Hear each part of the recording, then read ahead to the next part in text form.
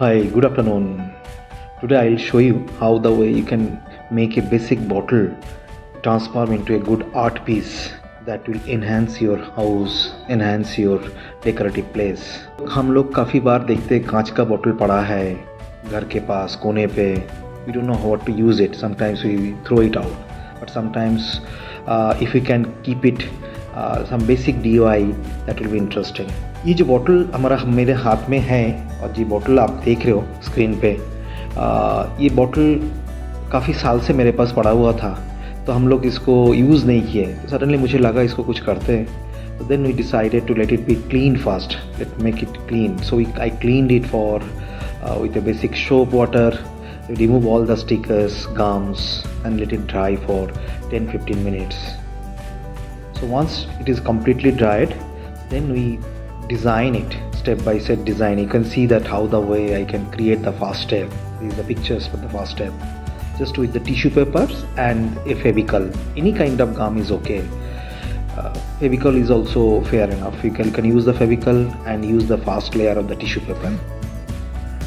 Let it be dry for 15 minutes 20 minutes. Completely let the tissue paper get dry now you need to add or you need to collect is a basic plaster of paris little fevicol or gum और साथ में आपको कुछ colour डालना है तो white cement और white colour तो I do have a basic paints white paints जो बाज़ार में मिलता है मेरे पास पड़ा हुआ था तो I have added the white paint and I have created the second layer which you can see it here right now the second layer how the second layer look like in between आपका एक चीज़ होता है जो you can create the design in a basic sketch that how the way you want that entire transformation bottle के ऊपर किस तरीके से करना है।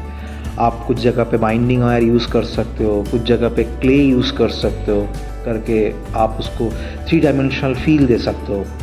तो basic is that if you make it little three dimensional feel it will give you more you know artistic view sometimes हम लोग पेंट के ऊपर भी डायरेक्ट कर सकते हैं। इट इज़ लिटिल सिंपल इस जगह पे मैंने कुछ बाइंडिंग आयर क्ले जो बाज़ार में जो what clay you are finding in do know stationery shop and साथ में gum plaster of Paris if you have plaster of Paris in place of plaster of Paris white cement is also fine those are the materials I have use it to create the shape you can see the shape in detail handle part or the face part on the top of the there is a ring those I have created at the beginning that's as giving you some kind of uh, structure on the structure also I've used a cotton thread that cotton thread giving you some kind of you know texture feel so like this way you can see the shape you can see the texture design and how the way I created the formations तो होने के बाद now it is the second part is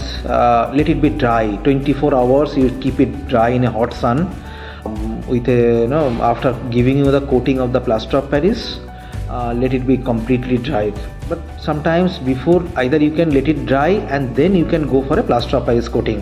That will be much better. So that your the whatever decoration you have done it it should not be replaced because of once it get wet there is a chance to get it break or there is a chance to make it fall from that you know bottle.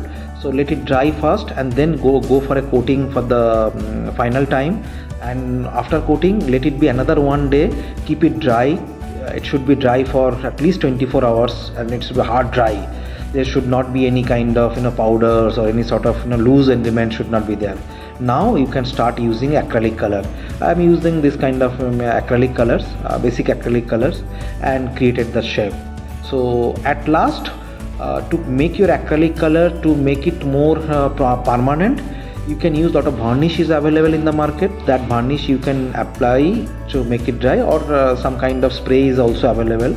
So it let it be uh, for after applying it let it be for uh, one or two hours in hot sun completely dry and then your product is ready. Now you can see that this is the final output of the product